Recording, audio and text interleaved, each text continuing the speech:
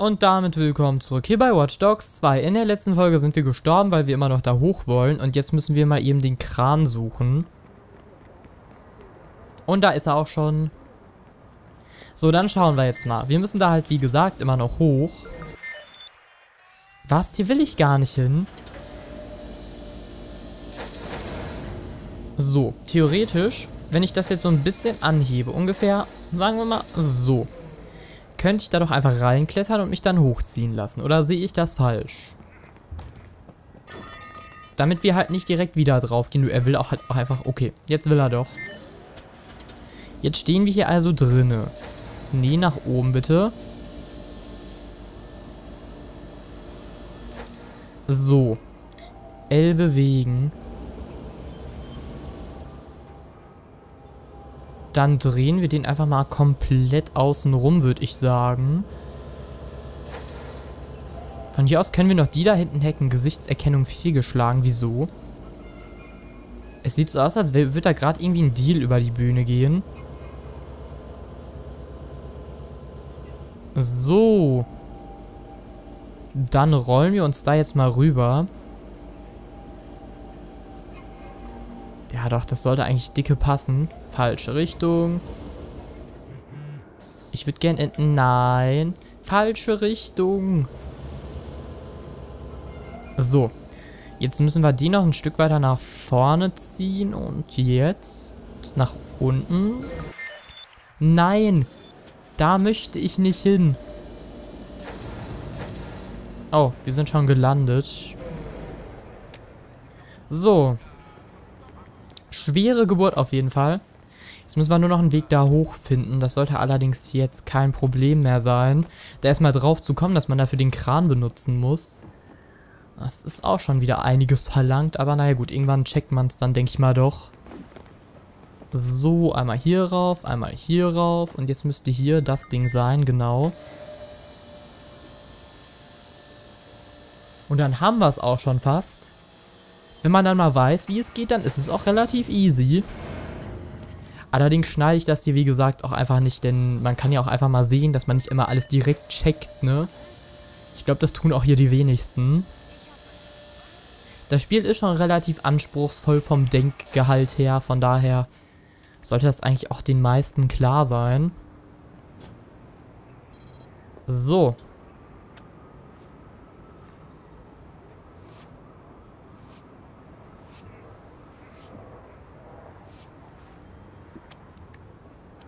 gleich viel besser.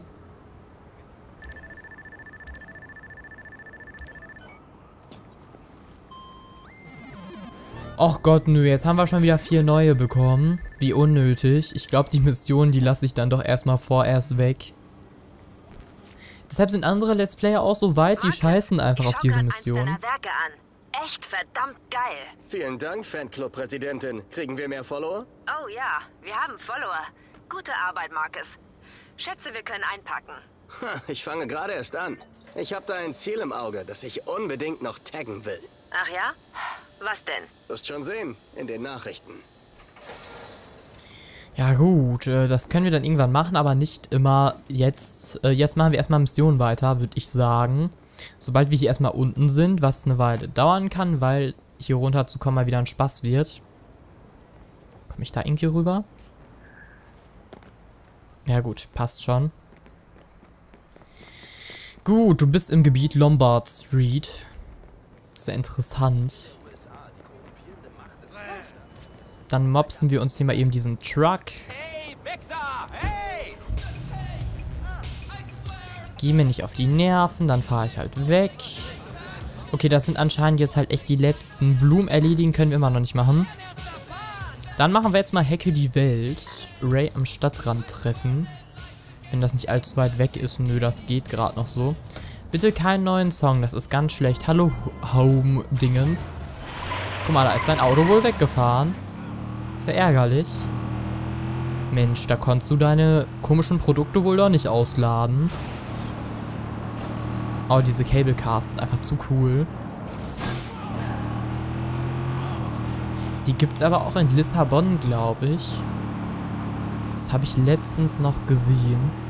letztens, das ist mehr als ein Jahr her, aber na gut, äh, es ist auch letztens mehr oder weniger. Naja, auf jeden Fall ist das ziemlich, ziemlich cool, mit sowas zu fahren. Ein hübsches Auto. Allerdings ist das nicht ganz so cool wie das aus dem Style, den wir letztens gemacht haben. Naja, ich überlege gerade so, das in den Titel zu schreiben, aber das wäre übelste der Clickbait. Und irgendwie will ich sowas nicht machen. Da muss ich echt schon mega krass drüber nachdenken. Letztens habe ich nur mal irgendwas in Caps Lock in den Titel geschrieben. Ich glaube, das war dieses Er ist tot. Und da dachte ich mir nur so, hm, soll ich er und tot wirklich in Caps Lock schreiben? Ich meine, das wirkt so richtig melodramatisch, aber ich weiß nicht, ob man sowas machen muss. Kann man ja einmal so in der Zeit machen, aber Naja, ich glaube, man weiß, was ich meine. Boah, wie das Auto abgeht, das fährt einfach überall gegen. Das ist auch schon komplett Schrott. Das können wir auch gleich wieder wegkloppen. Naja, komm, scheiß drauf. Wuhu. Das ist der Stadtrand. Ja, ja, alles gut. Was gefällt euch denn da dran nicht? Verstehe ich nicht.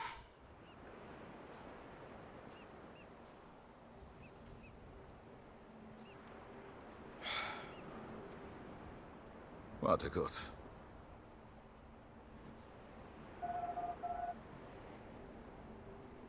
Worauf warten?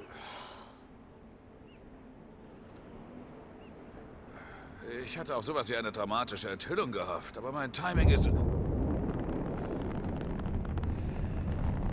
Eine Galilei-Rakete. Na und, Mann? Ja, also genau diese Galilei-Rakete ist Nummer 4. Und die Satelliten, die an Bord sind, alle von Blum.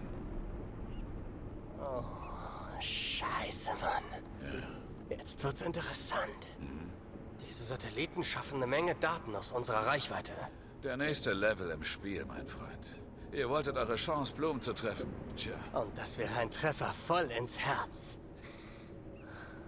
Hast du etwa vor, ein hübsches kleines Extra beim nächsten Satellitenstart mit in den Orbit zu schicken? Du bist echt total abgedreht, Mann. nicht für diese Welt, Baby. Heilige Scheiße. Du fährst. Ja. Da hau ich erstmal wieder voll gegens Mikro.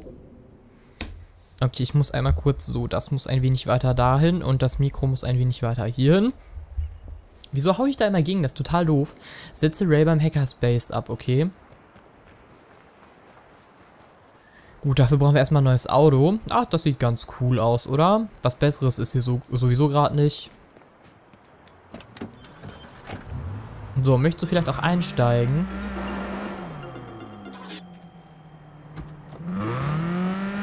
So. Dann auf zum Hackerspace. Boah, ich glaube, ich werde heute doch noch mehr aufnehmen müssen als geplant, weil die letzte Folge so ein bisschen desaströs war. Ups, sorry. Ich bin gar nicht was blond. zu Galilei wissen und lotse dich dann durchs Gebäude. Wenn das funktioniert. Hat sein ziehen wir Kind Blues was? Eine große Firma wie Bloom muss im ganzen Land Serverfarmen haben. Tja, mit etwas Glück hacken wir eine Farm und finden von dort aus die anderen. Wir haben so lange Mikrofon, versucht, bitte stell dich wieder gerade hin. Ich will, dass DedSec auf Augenhöhe mitspielt. Wir haben so viel unternommen. Sorry, ich hab mich grad ein nicht bisschen genau, verfahren. Meint ihr, wir finden Schwanzbilder? Hast du etwa unser Gespräch mitgehört, Sitara? Mit einem Schwanzbild von Duschan in den Händen hätten wir das ultimative Druckmittel. Ja, vor allem wenn er klein oder voller Warzen ist. Leute, Wie ich ihn kenne, hat sein Schwanz bestimmt seinen eigenen Männerdutt. Mann. Pferdeschwanz. Wie geil, wie geil. Ha, ich bin Master Schwanz. Ich trage nur Lederkondome. ja, ich war schon unbeschnitten, bevor es cool war. Was für ein Okay, die sind echt nicht schlecht. Okay, okay, Leute. Vor allem, weil der. Typ halt wirklich strange ist.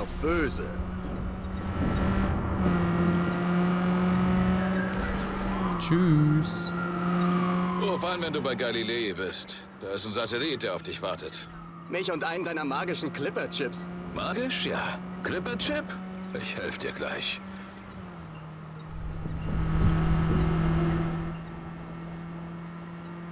Magisch, ja. Clipper Chip? Ich helfe dir gleich. Hättest du dir das je träumen lassen? Ehrlich, ich wusste Hier nicht, ist ein Hackerspace. ist. Sieht voll nicht so aus.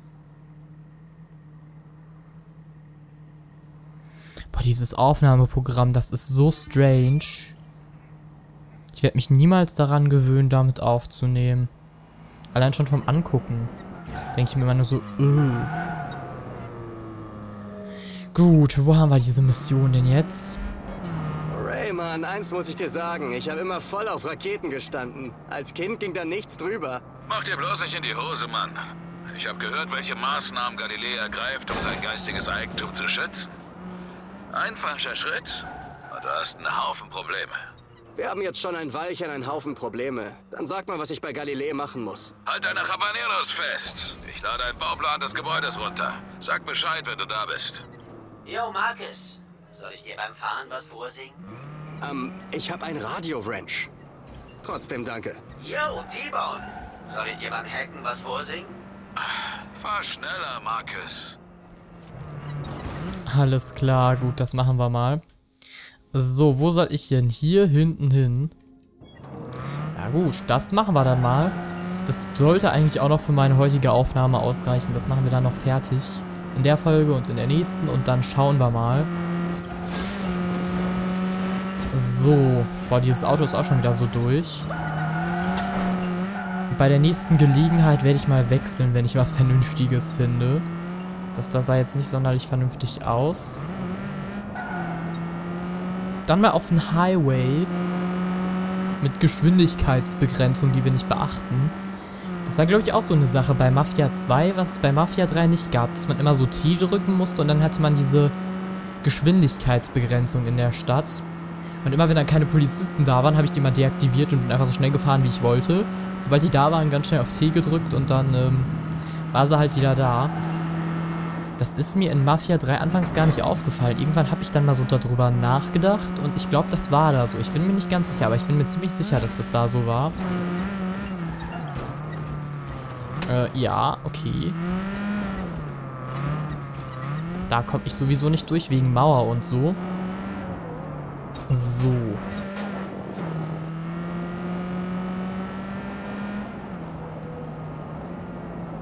Und wie soll ich da jetzt einfach reinkommen? Einfach reinlaufen Alles oder klar, was? Ich bin da. Ich habe den Gebäudeplan vor mir liegen, aber von hier aus bin ich blind. Könnte dich durchs Überwachungssystem zuschalten. Es gibt einen kleinen Checkpoint, der zum Gebäude führt. Das Kameranetzwerk läuft dort durch. Mal sehen, was ich Dieser Typ stalkt mich. Nee. Am Arsch.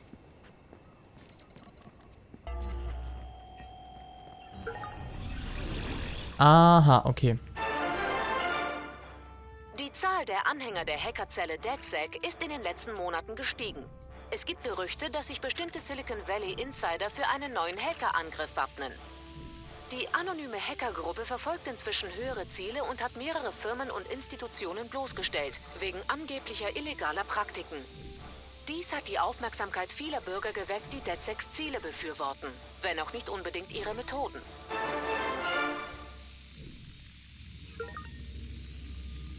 So.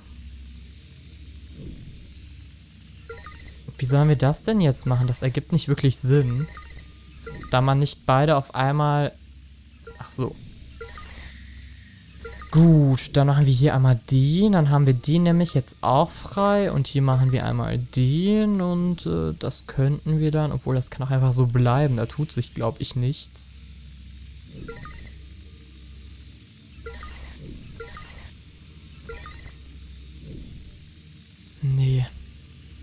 Dann machen wir doch einmal hier den hier. So. Jetzt kann ich nämlich den da machen. Jetzt habe ich den frei. Den mache ich jetzt einfach auf den hier. Damit haben wir's. So. Na, dann mal rein da.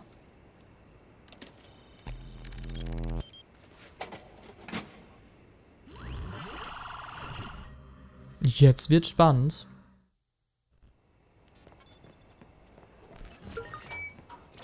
Und schon Ich sind wir drin. Es ist ein Wunder, Marcus. Hervorragend. Hältst du mir den Rücken frei? Dein Ich glaube, hier sollte ich gar nicht rein. Front und beide Seiten, Bro. Super. Geile Sache. Willkommen bei Galilei. Von hier aus musst du zum Rheinraum gehen. Er ist umgebungsüberwacht, voller empfindlicher Ausrüstung, also versuch nichts anzufassen, ja? Was ist in dem Rheinraum? Der Chip, den ich dir gegeben habe, nützt ohne Mobo nichts. Wenn ich das hier richtig lese, sind die Dinger, die wir brauchen, da drin gelagert. Ich muss da halt durch, ne? Und der Typ wird direkt ausrasten. Was passiert wohl, wenn ich da jetzt einfach durchgehe? Wird er mich umbringen?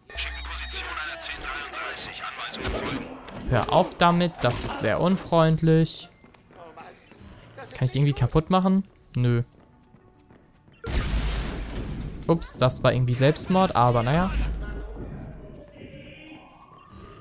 Ja gut.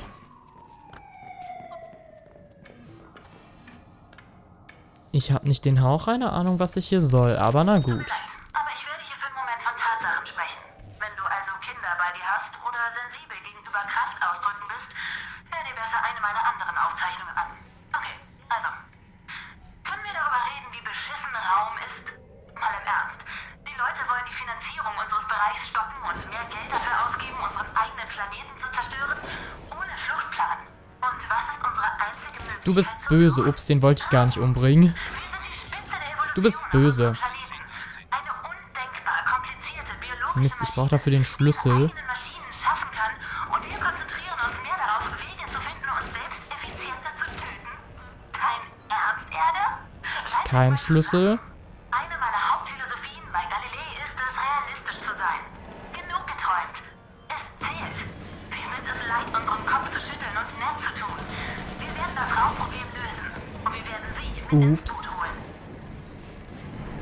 Okay, ich glaube, jetzt wird's ein bisschen krass. Ich habe doch diese Dinger hier. Kann ich die nicht auch mal irgendwie wegschießen? Als ob... Okay, ich gehe hier doch mal eben in Deckung. Okay, der ist weg. Jetzt sind das nur noch normale Dingens. Allerdings haben die alle keinen Schlüssel. Das ist voll kacke. Nein, nein. Okay, die sind alle nur noch ganz normale Menschen. Die sind alle nicht mehr irgendwie sonderlich gut geschützt. Gott. Auto-Aim, wenn du auch mal die Leute anvisieren könntest, die auch gerade draußen sind, dass ich nicht andauernd auf irgendwelche Kisten schieße, das wäre mir relativ lieb. Ich habe keinen Plan, welcher davon den Schlüssel hat. Der wird mir hier auch gerade nicht angezeigt. So. Der hat keinen was. Hat mehrere Schmerzmittelrezepte. Okay, dann ist der ja perfekt für den Job geeignet hier. Boah, wie soll ich denn da sonst reinkommen? Hi.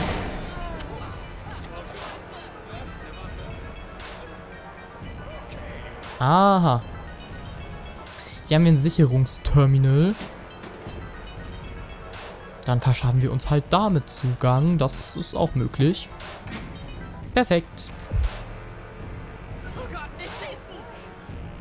Nee, auf dich schieße ich gerade nicht. Auf dich bin ich gerade auch nicht sauer. Ich brauche dafür immer noch den Schlüssel. Mist. Mist, Mist, Mist. Nö. Wenn ihr irgendwie hier jetzt Mist anstellt, dann schlag ich euch. Just saying. Hier ist doch irgendwo einer. Er macht uns sogar die Tür auf. Das ist ja nett. So, dann stirbst du halt jetzt. Hier ist irgendwo der Schlüssel. Aha. Ich würde hier gern durch. Ist das möglich? Dankeschön.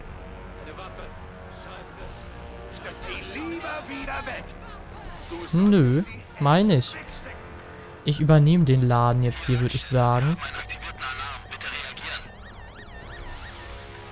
Kann ich das kaputt machen? Ich würde es gern kaputt machen.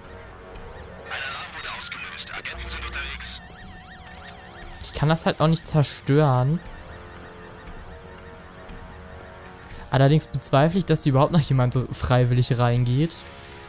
Naja, wir versuchen erstmal hier jetzt irgendwie reinzukommen. Was zum Teufel? Ach komm, scheiß drauf. Sollen sie doch hier reinkommen, wie viel sie wollen.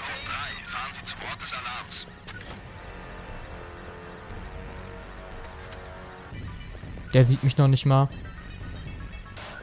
Cool. Nee, ich komme da echt nicht rein. Ich verstehe nur nicht, wieso. Ups. Ach so, okay. Oh Mist. Geh mal schnell zurück. Ups.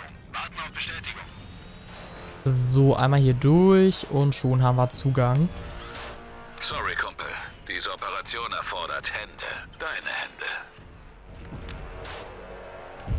Gut, aber was sie unsere Hände erfordert, das sehen wir in der nächsten Folge. Ich werde mich nur eben kurz um den hier kümmern. So. Aber wie gesagt, das war's für, äh, für jetzt, also für die Folge. Und bis zur nächsten Folge. Tschüss.